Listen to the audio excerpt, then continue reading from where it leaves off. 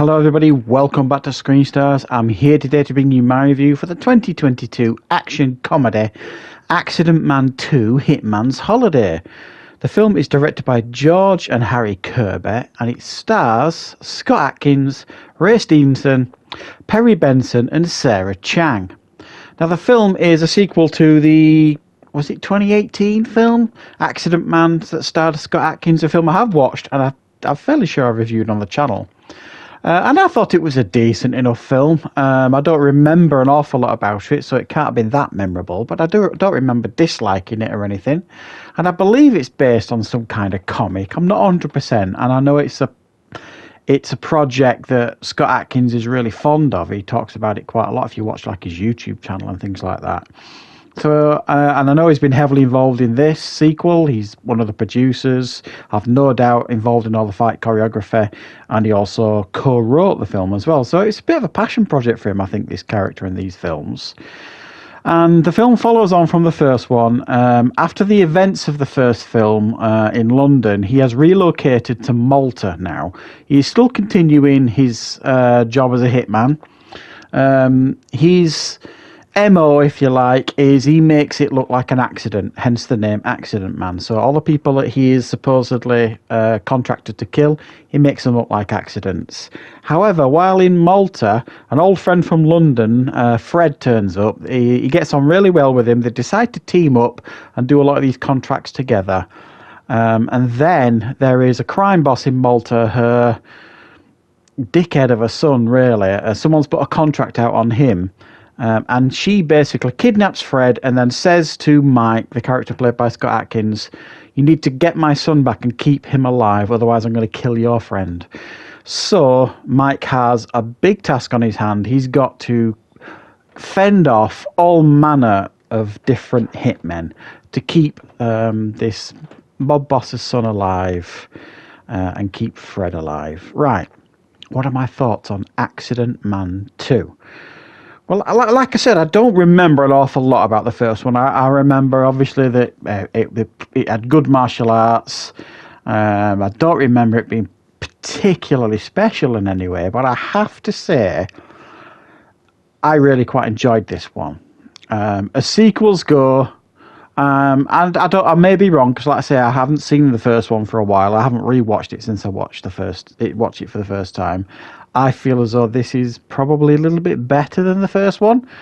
Uh, and I've no idea what I scored the first one, if I'm honest. I haven't rechecked. It might have been the same score. I'm not really sure. But I, I, I quite enjoyed this one. I'm not going to lie. I thought this is one of the best characters that I've seen Scott Adkins portray. Now, I think Scott Adkins, as many of you watching this probably think the same thing, he's he is underrated as an action star. I don't think he gets enough credit for um, how talented he is in the action genre. He's just above like star power. He does a lot of movies, a lot of these type of movies, and he is well respected in the in the business. I'm sure as like a performer and a fight choreographer and all this kind of stuff. And you see him pop up in mainstream movies quite a lot. I think he's in. He's going to be in the new John Wick film. Uh, he was in that recent film Day Shift on Netflix. He, he, he pops up in films like that all the time, but he never really gets the recognition he deserves. Uh, I've even dedicated a playlist on this channel to Scott Adkins films because I really do enjoy the majority of them. He's made some stinkers, of course has, but show me who hasn't. But I think this is probably right up there with, apart from maybe the character he played in Debt Collector, this character he plays here. It feels like more like him, more like who he is as a person. He's he's quick witted, one got loads of one liners, and he's badass at the same time. And I really do enjoy Scott Adkins playing this character. He does a really good job in this film. Um, on top of that, you've got Ray Stevenson. It's Ray Stevenson. He's doing what he does best. Um, and I, but I really like Perry Benson as Fred as well. This guy that um, you know turns up in Malta, and him and the Mike character get on really, really well. And Mike's got to keep him alive by getting rid of all these hitmen trying to kill this mob boss's son. But the other character that really stuck out for me was Xanta, the son of this mob boss. He was an arrogant little git who you just wanted the Scott Adkins character to kill, but he couldn't because he has to keep him alive. Um, and what this character does, he's so arrogant.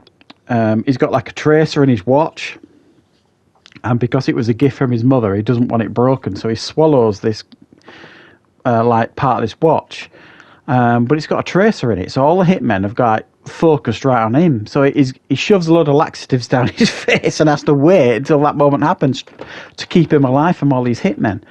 And it's a lot of fun. The the the, the interactions between these two characters, this this mob boss's son Zante or Dante, sorry, and Mike, are just precious. At one point, this Dante calls him, um, uh, "You just uh, uh, you look like Ben Affleck with a melted face or something like that. It just it made me laugh out loud a couple of moments in this film. I thought the humour was just right in this film. It was genuinely funny at times, and then when the action needed to be on point, my God, was it on point! Some outstanding action scenes in this film, beautifully choreographed, and you could tell that Scott Adkins hired the cream of the crop for this film.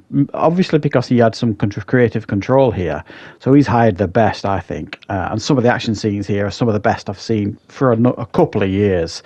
Superb stuff, and it's not just all about Scott Adkins looking brilliant. Uh, Sarah Chang, who plays Wong, who he basically hires to do like a, an Inspector Clouseau thing, where she just pops up occasionally and beats the crap out of him to keep him keep him on his toes, sort of thing. It's a great addition to the film, and it's very, very funny because she keeps kicking him in the knackers. Um, so I thought the dialogue was good here. I thought the humour was on point. The action was spectacular, and it really did hold my attention. Is it? Is it a cut above the rest? Probably not. It's one of those films that if if they'd chucked a, you know, another ten or fifteen million onto the budget, it would have escalated it to a real AAA type film. The, as it stands here, it's a really, really good quality, almost like B movie action film. Um, and one of the best Scott Adkins films I've seen for a while, where he's been like the star of the film. So I really, really enjoyed this one. I'm going to give it a 7.5 out of 10. If you love Scott Adkins, trust me, you are going to enjoy this film because I think it's really, really nicely done. So thanks for watching. I hope you enjoy this review. I'll be back with more reviews and content on the channel very, very soon.